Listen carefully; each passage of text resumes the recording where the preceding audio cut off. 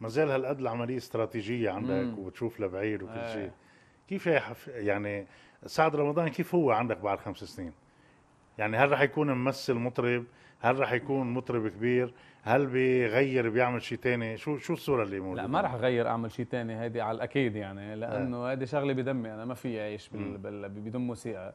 وثانيا آه، أصعب شيء على الفنان يغير آه، يطلع من الفن. أصعب شيء. مم.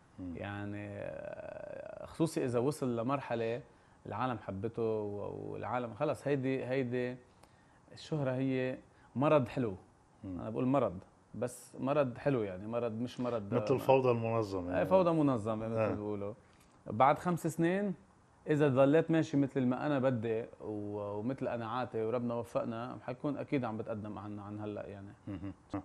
آه، اللي بده ينقال بهالإطار إنه في الأغنية الرومانسية. ال- يعني أغنية العاطفة اللي فيها رقي وبتنعمل بصوت باس بتنعمل بموسيقى راقية. يبدو انها هي حاجة هالأيام. صح. وأنت سيد هاي اللعبة. أنا لاحظتها ومش كثير ناس لاحظوها. آه. وأنت ملاحظها معي. وأنا لا طبعاً. قلتها إنه هاي الفترة بقول لك شغلة بكل صراحة. نعم. آه لو عملت غنيتي ضد النسيان لو عملتها هلأ من سنة آه.